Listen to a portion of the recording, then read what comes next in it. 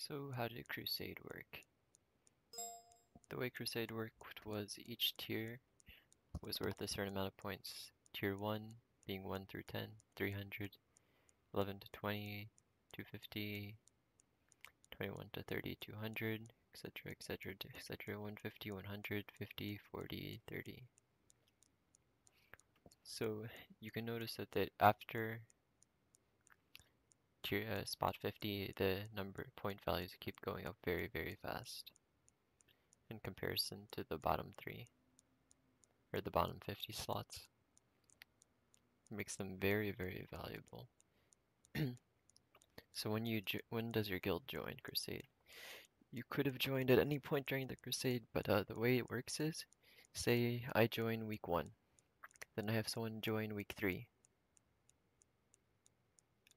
That means that that person will count for Crusade, even though they weren't there when the guild joined Crusade. But if they join, someone else joins week four, they won't count. But another thing they can, someone people can do to get around this, that uh, most people did not know, was that uh, if you can disband your guild if you joined before, and remake it. And then once everyone joins your guild, you join that week on week four, and all your characters will count. Only Ellen looking for daddy, macro abuser, going ham.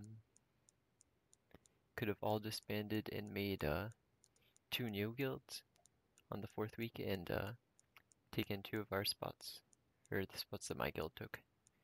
Uh, me and Lex's guilds took, but uh, they didn't know that. Also, Pez, Maloney would have counted for them. So even if they disbanded uh, Going Ham and then remade it, or Lonely and remade it, they would have taken two guild spots.